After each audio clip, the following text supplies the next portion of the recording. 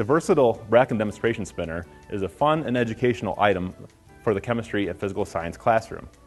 The setup of the Bracken demonstration spinner is easy. Simply place the included D battery into the battery holder and connect the wire leads of the spinner to activate the motor and spin the axle-rod. The Bracken demonstration spinner can be used in conjunction with a wide array of interesting products.